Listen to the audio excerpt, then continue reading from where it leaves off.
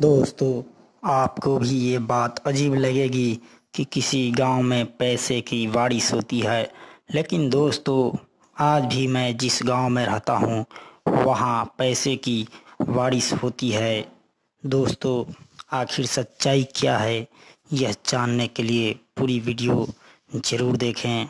दोस्तों, मेरे गाँव में पैसों की बारिश एक या दो दिन बीच देकर रातों में होती रहती है। जहाँ भी पाँच दस व्यक्ति एक जगह रातों में बातें करते हैं, वहाँ अचानक ही सिक्कों की बारिश होने लगती है। कोई कहता है, कोई देवता पैसों की बारिश करता है तो कोई कहता है कि जीन पैसों की बारिश करता है। जो जिसमें विश्वास रखता है, वो उसी को पैसे बारिश करने वाला मानता है। गाँव के लोगों की ये बातें सुनकर मैं और मेरे दोस्तगण परेशान हो गए थे। हम लोग भी कंफ्यूज हो गए थे, आखिर पैसे आते कहाँ से हैं? हमने इसकी जाँच शुरू किया कि क्या सच में पैसों की बारिश कुदरत करता है? बहुत दिन मेहनत करने के बाद एक दिन हम लोगों को पता लग ही गया। उस रात हम लोगों ने देखा गाँव के दो तीन शरारती लड़कों ने छत पर से सिक्कों की बारिश लोगों के ऊपर किया।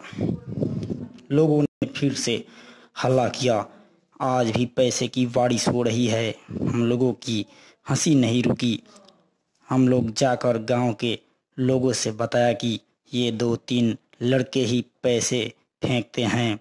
गाँव के कुछ लोगों ने तो विश्वास किया, लेकिन कुछ लोग ऐसे भी थे जो विश्वास नहीं कर रहे थे। लेकिन धीरे धीरे उन लोगों की पोल खुल गई और पता चला कि पैसों की बारिश भगवान, अल्लाह, जीन या किसी देवता ने नहीं, बल्कि ये शरारती लड़के ने ही किया है। और करते हैं। दोस्तों, अगर आपके आसपास भी ऐसा होता है तो आप गलत फहमी में ना पड़े। दोस्तों, अगर हमारी वीडियो आपको अच्छे लग रहे हैं तो हमारे चैनल को लाल बटन दबाकर सब्सक्राइब करें तथा घंटा को भी दबा दें, जिससे हमारे वीडियो मिले आपको सबसे पहले। दोस्तों, साथ ही साथ इस वीडियो को लाइक तथा शेयर भी कर दें। धन्यवाद।